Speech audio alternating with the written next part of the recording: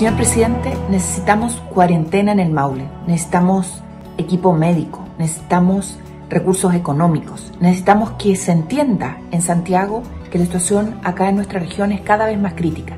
Lo piden los alcaldes, los concejales, los consejeros regionales. Usted está pensando en un cambio de gabinete. Pues le cuento que en nuestra región el intendente se fue. Se fue para postular a un cargo del fútbol. Ese es el nivel de compromiso que tenemos de parte de las autoridades. Siento que ministros, subsecretarios, jefes de servicio y muchos parlamentarios están pensando en las soluciones desde la comodidad de su hogar, desde el calor de su hogar. Pues bien, las familias en el Maule y en el país están pasándolo mal. Necesitamos de una vez por todas que se tomen medidas drásticas y en serio, en lo epidemiológico, en lo sanitario, en lo social y en lo económico. No más frivolidad.